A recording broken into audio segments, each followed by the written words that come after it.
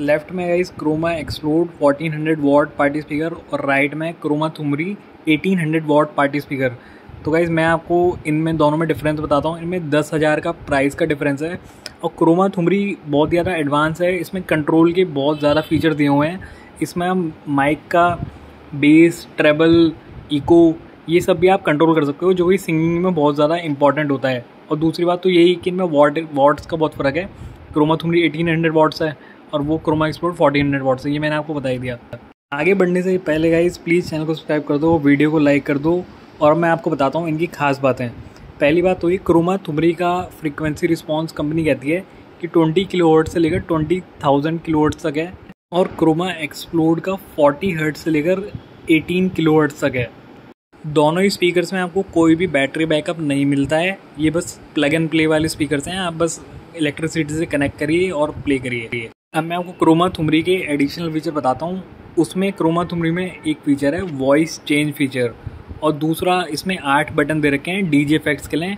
इनसे आप eight DJ effects डाल सकते हो किसी भी चीज़ में। इसी के साथ आपको थुमरी में पाँच इक्वलाइजर मोड्स भी मिलते हैं, जैसे कि रॉप पॉप वोकल्स ये सब आप सेलेक्ट कर सकते हो, कौन सा मोड आपको चलाना है। एक्सप्लोर्ड में आपको ये फीचर भी नहीं मिलता। पर्सनली मुझे क्रोमा थुमरी का एलईडी लाइटिंग इफ़ेक्ट ज़्यादा अच्छे लगे। क्योंकि इस पर एक बड़ी सी लाइट ऊपर से लेफ़्ट से राइट तक ऐसे कंटिन्यूस दे रखी है। इससे बहुत ही अच्छा इफ़ेक्ट आ रहा था। और साउंड भी तुमरी की ज़्यादा लाउड है बेस भी इसका ज़्यादा बढ़िया है।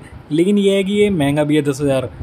तो आपको देखना पड़ेगा कि आपको कितना लाउड स्पीकर चाहिए, आपके लिए कौन सा वर्थ है। बाकी दोनों ही स्पीकर प्लास्टिक के ही हैं और लेकिन बिल्ड क्वालिटी स्ट्रॉन्ग है हार्ड प्लास्टिक यूज़ हुआ है। मैं आपसे कहूँ कि आपको JBL वाली क्वालिटी मिलेगी तो गाइज़ ऐसा तो नहीं है। आपको JBL और सोनी वाली साउंड क्वालिटी तो नहीं मिलेगी। वो प्रीमियमनेस तो इतनी नहीं है, लेकिन मतलब इनमें भी कोई ख़राबी नहीं है। ये भी आपको अच्छे लगेंगे, सुनने में अच्छे लगेंगे। हाँ JBL और सोनी जब आप सुनते हो तो आपको एक अलग फील आती है। वो वाली फील तो नहीं मिलेगी, लेकिन इनमें भी साउंड में कोई दिक्कत नहीं है। ये भी अच्छा लगता है सुनने में। और JBL और सोनी में एक्सटेंडेड लो बेस होता है, जो मतलब हमें अच्छा फील होता है। वो तो इनमें नहीं मिलेगा। तो क्या चैनल को सब्सक्राइब कर दो वीडियो को लाइक कर दो। दोनों बहुत ही अच्छे स्पीकर हैं और आप ऑनलाइन ले सकते हो। मैं नीचे इनके अमेज़ोन के लिंक दे दूँगा। तो गाइज़ थैंक यू